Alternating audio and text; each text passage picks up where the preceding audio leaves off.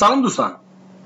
دقت بفرمایید. در این قسمت به بررسی بادی پاراگراف دوم بر می‌پردازیم و اینکه توی بادی پاراگراف دوم باز در واقع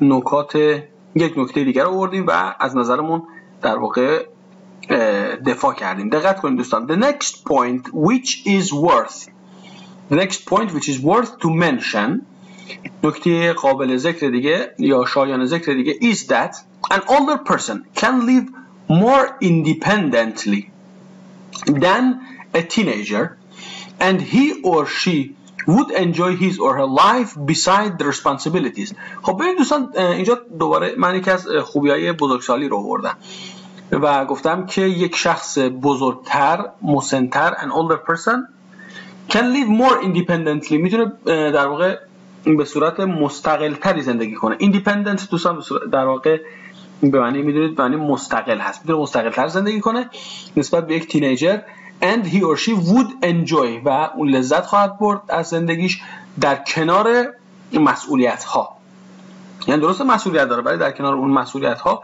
چون مستقل تر است می‌تونه شادتر زندگی کنه. As an example a man who is 40 به عنوان مثال یک مردی که 40 سالش هست can arrange his travel plan based on his taste.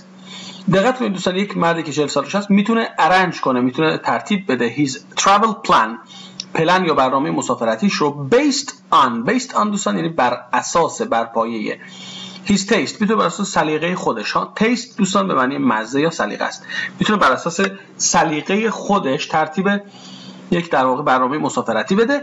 And nobody would change or disturb his plan. و هیچ کس در واقع تغییر نمیده.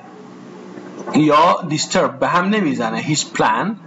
پلنش رو and he will be able to travel wherever he wants. و اون می‌تونه ببین دوستان اینجا would, will be able to یا حالا would be able to به معنی قادر بودن. این به جای can آوردیم.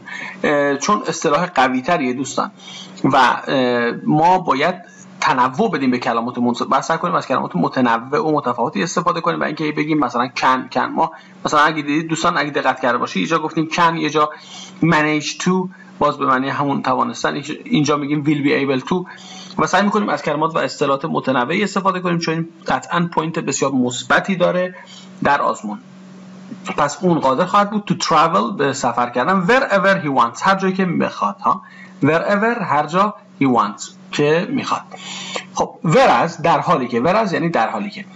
The parents از همه شما دوستای گلم دعوت می‌کنم که به کانال تلگرام من وارد بشید.